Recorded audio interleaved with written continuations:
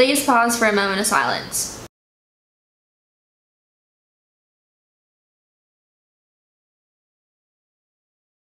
Now please stand and face the flag. I pledge allegiance to the flag of the United States of America and to the republic for which it stands, one nation, under God, indivisible, with liberty and justice for all.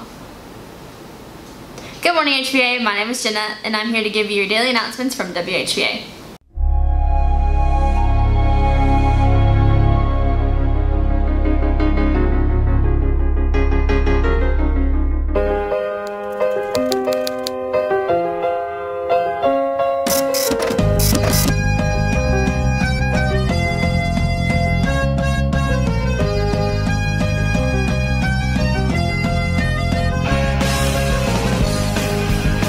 Welcome to Hardin Valley Academy, where achievement and excellence take flight.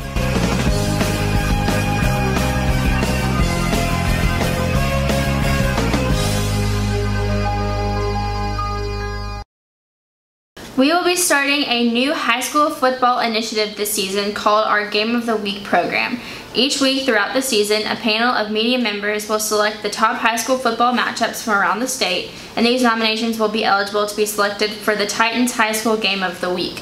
Fans are encouraged to vote for their preferred matchup as many times as they would like to throughout the week at www.titansonline.com slash game of the week. The game with the most votes will become Titans High School Game of the Week, and the winning head coach will be named Titans High School Coach of the Week. Each Coach of the Week will receive a grant from the Tennessee Titans in the amount of $1,000 to benefit their school's football program. So make sure you vote because we have been selected as one of the four nominations this week up against Science Hill for the Titans Game of the Week. So make sure you go and vote so that we can get some money for football. Also, SSEP, Student Spaceflight Experiment window is now open and Mr. Hartman will conduct the first meeting on Monday, October 5th at 3.30 in room F207. If you want to design an experiment for astronauts on the International Space Station, make plans to attend that meeting. Also, this week is college application week. So seniors, if you've already applied to college or are going to apply this week, come by during lunch and sign the I'm going to college banner located in the atrium.